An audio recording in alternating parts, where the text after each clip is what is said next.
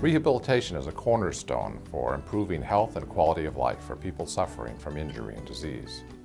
The successful translation of rehabilitation research spans many disciplines, including medicine, orthopedic surgery, physical therapy, biological and health sciences, engineering, and public policy.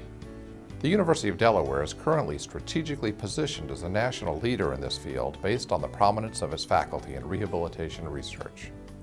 DRI is a virtual institute that encompasses investigators, clinical scientists, and clinicians. The research laboratories, clinical research centers, including clinics serving neurological and older adults, sports and orthopedics, and pediatric patients and research subjects, and community outreach to the DRI encompass all components of the WHO's International Classification of Functioning Disabilities and Health by translating important clinical questions from the bedside and community to the bench in applied science laboratories and back to the clinic via innovative therapies and devices. As the director of the Center for Biomedical Engineering Research, Jill Higginson is applying engineering techniques to the study of rehabilitation. Stroke is a disruption in the firing pattern of the neurons in the brain, and when that happens, oftentimes muscle coordination is disrupted. So common activities of daily living are difficult.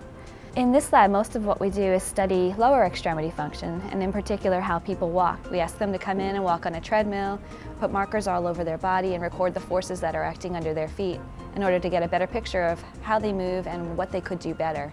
We currently have a study funded by the NIH that involves collaborators from physical therapy, and in this study we assist the subjects during their walking by providing functional electrical stimulation and we're starting to see some beneficial effects. It's really important that we have an interdisciplinary approach to this kind of research. It's quite a diverse group of people interested in biomechanics here at UD, you know, in mechanical engineering, which is my home department, but also in physical therapy and in exercise science. Being able to have those collaborators on board for all of our studies is really important. It helps your research have more impact and helps you translate from being in a laboratory environment to being in a clinical environment. Athan Iannucci is an example of a high-level athlete that has benefited from the research at the Delaware Rehabilitation Institute.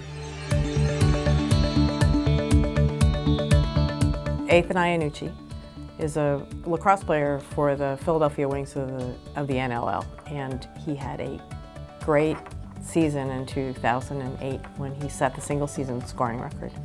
Subsequent to that, in his outdoor league in the summer, he tore his anterior cruciate ligament, or ACL. Rehabbed at home started to play in a Wings game and his knee gave way. And when they looked inside, the ligament graft was gone. The team physician knew about our research. So he came down and he participated in this specialized rehabilitation called perturbation training and was able to play out that competitive season and had a very successful season.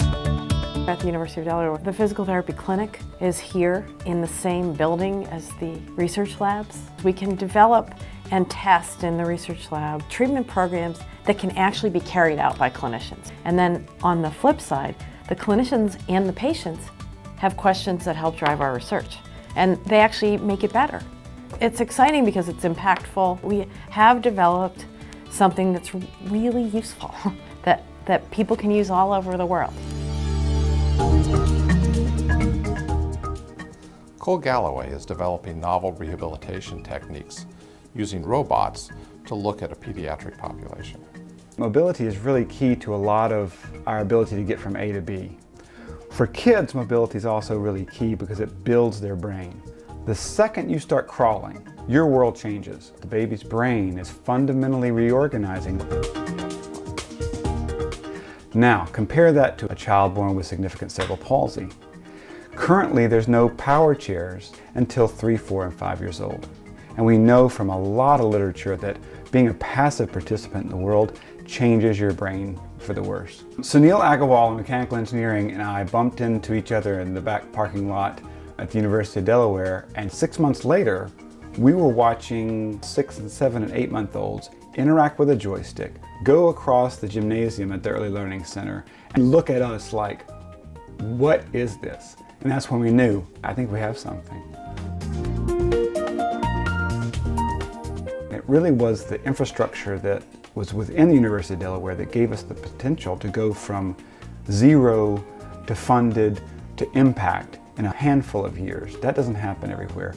The Delaware Rehabilitation Institute is another set of infrastructure that I think uh, changes the game at the University of Delaware in terms of reality-based research and technology to impact uh, people in Delaware, in the region, uh, nationally, and around the globe.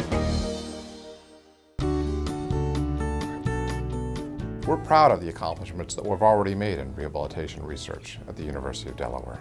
And we look forward to the future as we grow our Rehabilitation Institute. And we look forward to joining collaborators in the Delaware Health Science Alliance as they come and work with us to turn this into a world-class institution.